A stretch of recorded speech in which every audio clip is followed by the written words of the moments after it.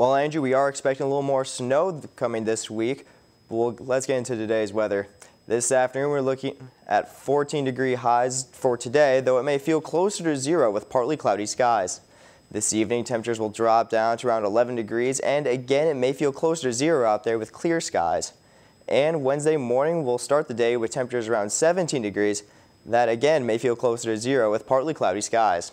Now let's take a look at our six-day forecast. Like I said, we've got more snowfall coming this week. Wednesday, we're looking at temperatures in the upper teens with partly cloudy skies. Thursday, we'll see temperatures drop to the low teens with partly cloudy skies again. And Friday, we'll see temperatures jump up into the upper 20s, and this is where we're going to see our snow. We may accumulate about an inch of snow on Friday, but Saturday we'll see the temperature drop to the low 20s and we'll see more snow coming our way. We may accumulate up to 3 inches of snow that time.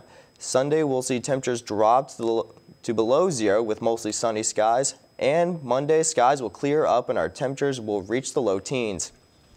That's all we've got here in the weather studio. Stay warm out there, Hawkeyes. Andrew, back to you.